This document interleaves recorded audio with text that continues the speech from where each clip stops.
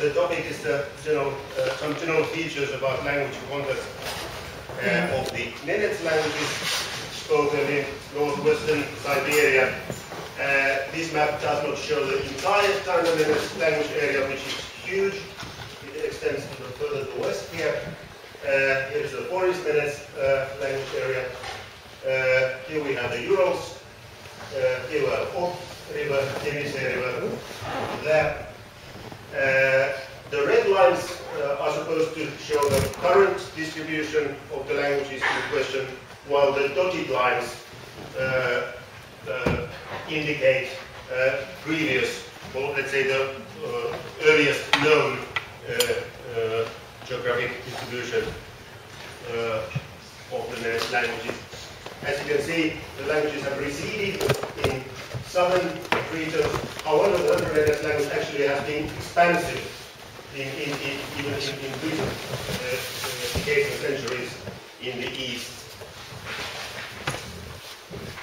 Uh, very uh, number of speakers over there. The literacy point here is that uh, until recently forest language was not recognized at all, and even now it's recognized, let's say, un, in an unsatisfactory manner. Uh, this map is supposed to uh, complement the previous uh, map because here you can see the westernmost region of the uh, the western dialects of Tundra Nenets are spoken uh, between the White Sea and the Pechora River, and then the central dialects between the Pechora River and the Ural Mountains. Together jointly, they may be called the European uh, dialects. Uh, the main uh, phonological uh, differences between dialects actually occur between Western and Central dialects. However, lexical differences, which are largely connected with loanwords, the main isoglosses are found here in the Urals, which uh, is the borderline between central dialects and eastern dialects, which is spoken across this uh, huge uh, territory over here. Uh, the uh, abbreviations here refer to the informants of Lehtisalo, whose uh, material still form the cornerstone of, of dialectology as well as lexical studies of the uh, languages.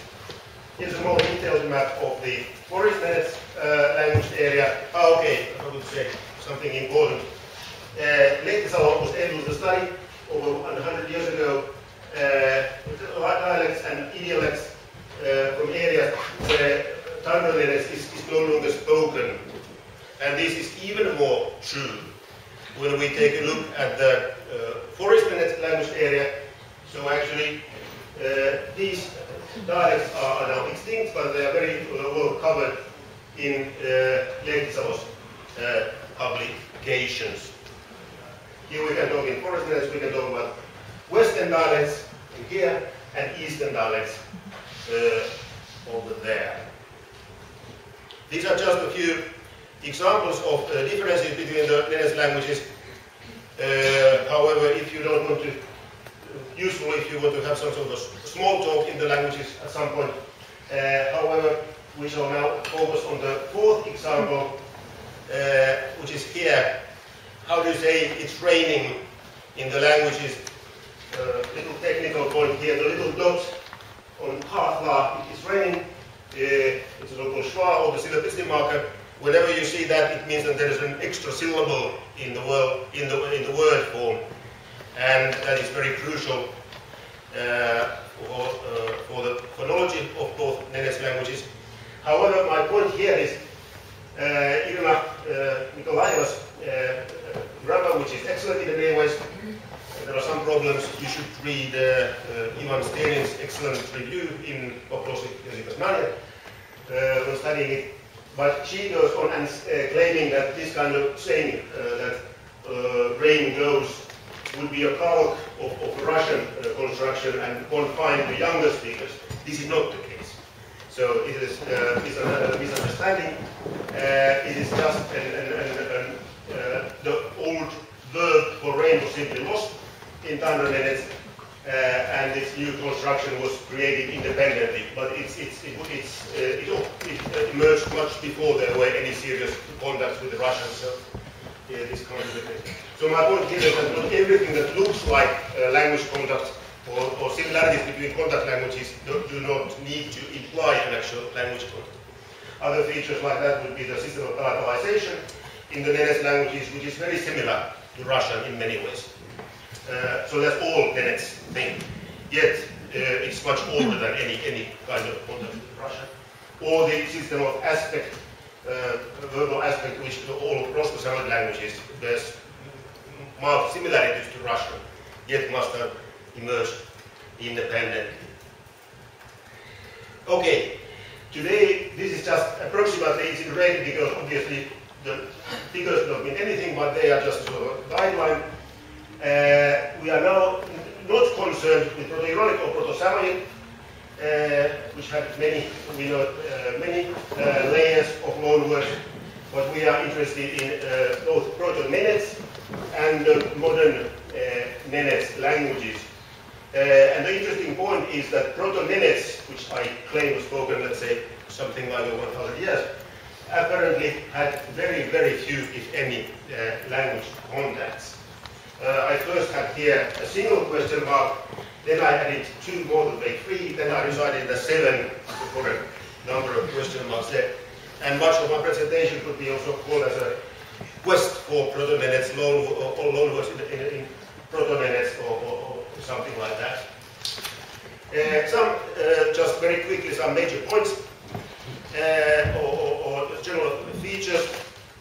So, Tundra Nenets can be divided from the point of view of language into three zones. The European zone where Komi and Russian both are more dominant languages and, and the other languages. It may, it's also possible that the West, vowel system of the Western dialects was influenced by context. I said something, uh, I said something about that uh, 10 days ago in St. Petersburg.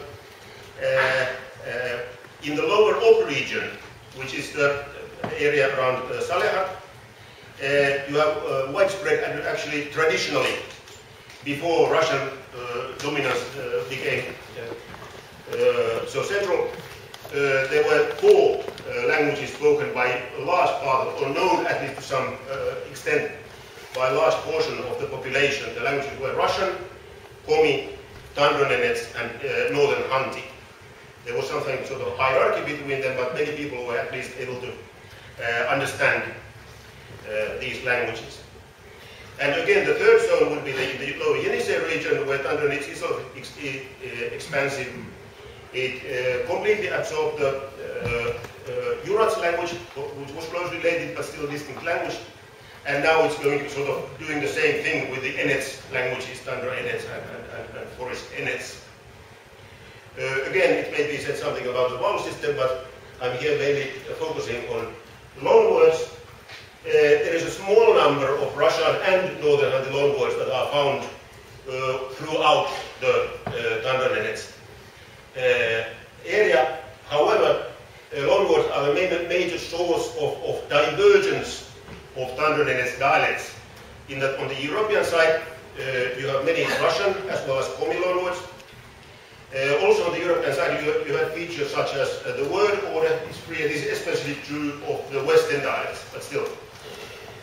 Uh, also, and at some local dialects, uh, the dual number has been lost, and there's a clitic system with this, uh, duck, duck, these kind of clitics are used in these, these dialects, which are unknown uh, in the Eastern dialects, which appear to be Komi or Russian, local Russian influence.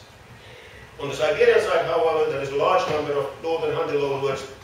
Marginal, there have been contacts with other language groups as well. Uh, although this is not a uh, topic, uh, my topic now, but uh, has been a donor of numerous loanwords. A couple of them has, have, that have already or also uh, uh, uh, reached inter, international usage, let's say. The same thing uh, compared with, uh, or the same kind of, sorry, uh, the same kind of features uh, uh, about uh, forest Nenets. so it's much more endangered than Tundra Nenets, well, that's clear. until recently, the Pur dialect, the sort of core dialect was preserved relatively well, but just late, uh, only in the 21st century. Now the language shift to Russian has accelerated, and it's really, really fast now. And the thing like code switching was virtually unknown until a decade or two ago. And it's, it's uh, now regularly commented my, by my uh, forest uh, colleagues. About forest practically all loanwords come from one single language, and that language is Eastern Hanti. So all cultural vocabulary of the language comes uh, either from the language or by, by the, through the mediation, mediation of Eastern Hanti. Uh, slight difference between dialects, I will say something about that. Uh, this was a topic of another talk that the whole vowel system of the Forest language uh, now follows sort of the, is, is structured following uh, Eastern Hanti model. it may be that the case system, which is in, in Western dialects of uh, Forest which is uh, impoverished, you can say, is, is, also more similar to Eastern Hanti. Russian loanwords in the Pur dialect in, uh, in, in, in, particular did really not exist until just, again, just a couple of decades, decades ago. So it's language was spoken somehow in the geographic, not so far from the geographic center of the Russian Federation, and yet it used to be until, until now a language with, with no Russian influences at all, almost. Uh, okay, and again, this is just the forest language and the neighboring languages. Uh, it's kind of the dead end of language contacts, because I mean, they have absorbed mostly, most influences come from here. Uh, there are people living in the uh, neighborhood of Northern Hanti and Northern Selkup, but their contacts seem to sort of egalitarian. There is no need to, uh, for at least loan words because they're culturally very similar and so forth. I will say something about its influences again. These are just a few random examples. I'm not going to do any details, but you can recognize the uh, words that will everybody recognize why alcohol would be sarka. It is clear to everybody in the room. Char no, it's not clear to everybody, okay. Those who speak Russian somewhere. Charka is some sort of a schnapps. Last no? It's a absolute. Pardon? It's absolute word in Russian. Which word? Absolute. Ah, okay. It's that's... an old word for any kind of cup to drink gas. Okay, but that's my point. Okay, obsolete was why I asked. that is a, okay, Bina looks like a, a Russian word, word, no, but it actually can be shown that it did enter Eastern Hanti and was then borrowed from there to uh, Forest Nenets. and there are cases like this. Here you have just uh, a participle form, a, a deverbal noun uh, used in Forest Nenets where you have loan words uh, in, in, in, in uh, uh, dialects of Tundra Nenets uh, so the different in, uh, onward influence is a major factor in the development of the two Nenets languages. Uh, and perhaps even more so, it is, is, behind, or, or is, a, a major factor uh, when we talk about the divergence of the dialects of Tundra So here on the left column you see uh, a selection of Russian loanwords and on the eastern, uh, on the right-hand column, you have uh, forms uh, the semantic parallels uh, from uh, the eastern dialect of Tundra Nenets. again, similar question. Paskoi. I rarely hear that word in, in casual Russian speech, but Baskoi. Komi. Pardon me? Komi.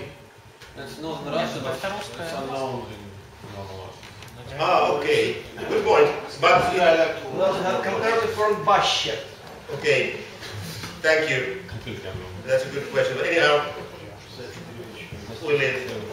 Uh, to a lesser extent, uh, loanwords have contributed to the difference between uh, the forest dialects, uh, although they are generally, as, the language areas are compact, they are also much more unified. But here we have the uh, words for animal names in, in, in uh, Western dialects of forest have been uh, borrowed from uh, Eastern Hanti. So the question is whether or not there were uh, loanwords uh, that arrived in language that we uh, may call uh, proto-nenets. So, and, and, I just uh, now go through a couple of examples. Uh, these uh, phonetic transcriptions uh, come from uh, Lehtiso's 1956 uh, dictionary. Up there you can see the phonological transcriptions. now, if you are nyan and nyan, well, this is the same nyan that you get in an Indian or Nepalese restaurant, yeah. obviously. Uh, nyan is found in the very same form, really, in both Nenets languages. Uh, here, Lehtiso, why I, I uh, uh, copied the entries in Lehtiso, because Lehtiso also uh, actually is the only systematic source where you have uh, uh, the origin of, of loanwords is, is in indicated. And here we have both Khanty and, and Komi included here. However, if, uh, so it could, we presume, could presume that this is a uh, proto-Nenets word that uh, is around the language uh, early on. Uh, however, uh, if we study the uh, historical phonology of the Nenets languages more exactly, we'll realize that this kind of an ad hoc or, or let's say presumed reconstruction from proto-Nenets word form would have actually yielded the reflex or in forest would, would be something different. For this uh, uh, correspondence to occur, we would have to have, have, have uh, uh geminate uh, nasal in uh, proto-Nenets, and the donor languages don't give any indication, don't give any reason to assume why we should have that. So the conclusion, if you, if you can follow me, is that this, this word was borrowed parallelly, separately into the Nenets languages. It's even possible that it was borrowed separately into uh, European and Siberian Cantonese, but simply uh, because the known languages have an identical form. To start with, uh, you get this kind of a sort of illusion of a proto-Nenets loanword. Another case would be, although here's much more variation, the word for uh, tea uh, and uh, here you can uh, see that Lehtiso has marked only one variant, sai, over there, as a loan word, while these two, chai, chai, have been marked as Russian loan words. This would be a unique case because here uh, Russian loanword would be found also in the Ur dialect of uh, forest Nenets. Uh, however, if we take a look at Steinitz data about uh, the Khanty uh, languages, we can actually see that there are perfectly good uh, original forms in the in Eastern Khanty for these forest forms to emerge. So there is no reason to assume anything other than Eastern Khanty origin for this word in, in forest Nenets again. And, and uh, here, uh, Steinitz uh, blindly, we can say, follows Lehtiso. He only mentions this one, although he, the, uh, in, in retrospect, could have well uh, indicated the Khanty origin of, of uh, all forest Nenets words in question. Minor question, okay, is about the contacts between the Nenets languages themselves it has been extremely scarce. You can see that the word like polar bear might be borrowed from Tundra Nenets for, uh, let's say, ecological uh, re uh, reasons of, of, of uh, natural uh, geography.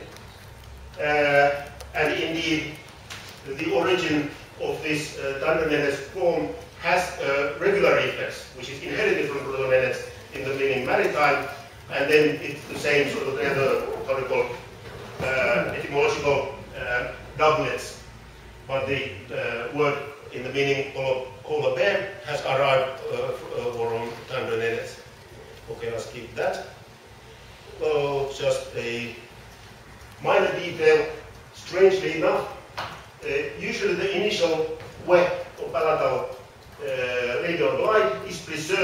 Forest Nenets, uh, we should expect a format for the neural 10.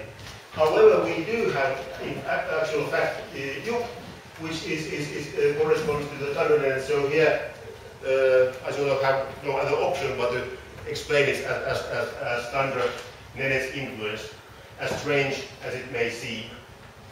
Uh, here, basically, we could reconstruct uh, um, Proto-Nenet's form for the word meaning Russian, uh, which presumably is, is, is, is originally from uh, Finnic uh, form. Uh, however, this would seem anachronistic, so I have sort of resorted here to terms like pre-Tundra Nenets, pre-Forest Nenets. So it's a very old, old word, and there is simply there are no phonological uh, features that would uh, reveal its uh, late arrival in the language, but we just have to assume it on on, on, on extra linguistic uh, basis. Uh, here's just very quick. Uh, apparently the word for cow is borrowed from Tundra Nenets because we have a sort of an etymological substitution by with M for it's Russian korova. So, however, in foreign we have M, and the form itself looks like a, a, participle form of a verb that means expose. So I don't know the semantic, uh, semantic uh, uh, sort of basis for it. In what way is a cow an exposed, revealed animal? You tell me at some point if you wish, if you, if you can make it. if you can Okay, there are many other things that have a wide distribution uh, in, in, in across or uh, across both languages, but however, when we study the historical phonology, we can actually show quite easily that they have been borrowed separately. This would have been an interesting case of that.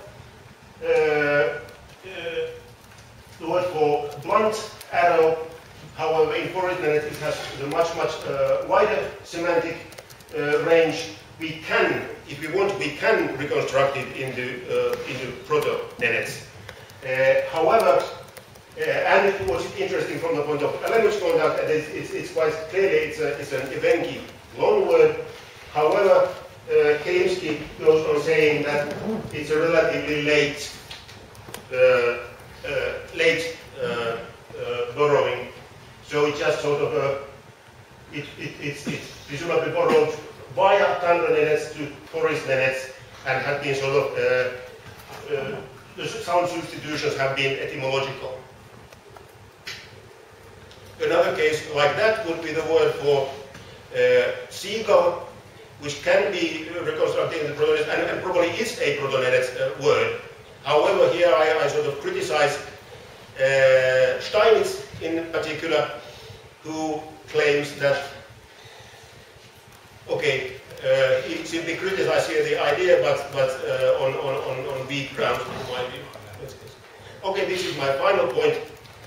So do we did for, for the okay if uh, uh, if uh, uh, if Proto actually had any uh. Uh, okay, but here we have talked uh, maritime mammals. In Nenets, there are only three species of seals living in the Kara Sea and the other northern parts of the Arctic Ocean. Walrus is clearly an, an, an, a derivative of the word tooth, which is quite appropriate.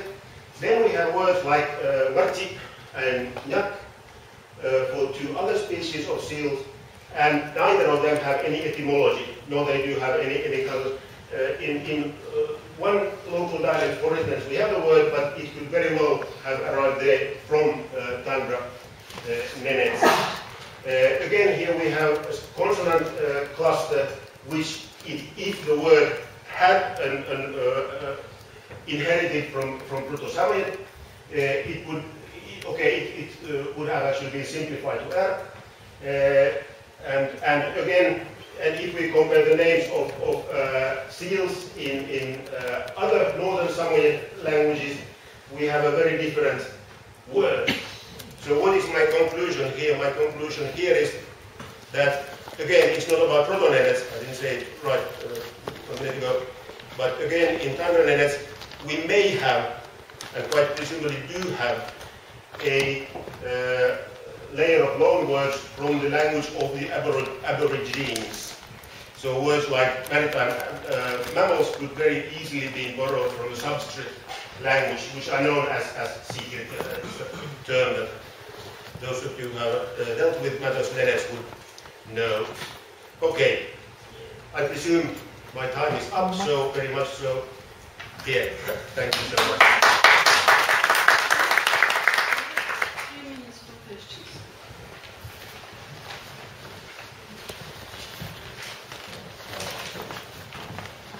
Um, uh, My question is, is, is about the term for Russia. Yeah, Why to assume that uh, there was a change from, from uh, um, L, L to R in forest tense? I don't know. That's a good question. I- Show this slide. Yeah, uh, that's a good question. I actually, uh, my point only was to uh, compare it. I should have, I always think that I have so much time and I don't have here. Yeah. Uh, I, it was just but was here the main, the crucial word. It's, it's, it's unrelated. It has a different origin from the other words for Russian in this. So you you think that uh, the, this word i- in correspondence has been borrowed from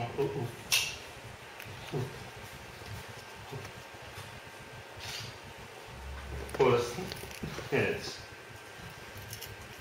You mean Rosa? Yes. Well, I don't really have any view. I mean, isn't it something similar in, in, in, in, in other uh, most uh, southerly languages? Well, I, I, I- don't know. My, my No, no, I, I have question was, was only about FN correspondence Rutsa. Ah, okay. Yeah, okay, that's, that's, that's, no, that's, no, ah, this one here. no, Rutsa, yeah, yeah. Ah, okay. Uh, no, no, this is just regular sound change. All else change Ah, all, all changed. Except, except, yeah. except for certain exceptions which actually, uh, I don't really have time for this, but where was y- Just a yes, second. There are a few words where uh, L does not, is preserved in forest uh, nenets. And because that's a rare occurrence, we have talked about this with Juha and other colleagues. Here I have a very silly uh, pound sign in the reconstruction, which shows that something that I expect to happen does not happen. So I'm glad that I got to explain that as well.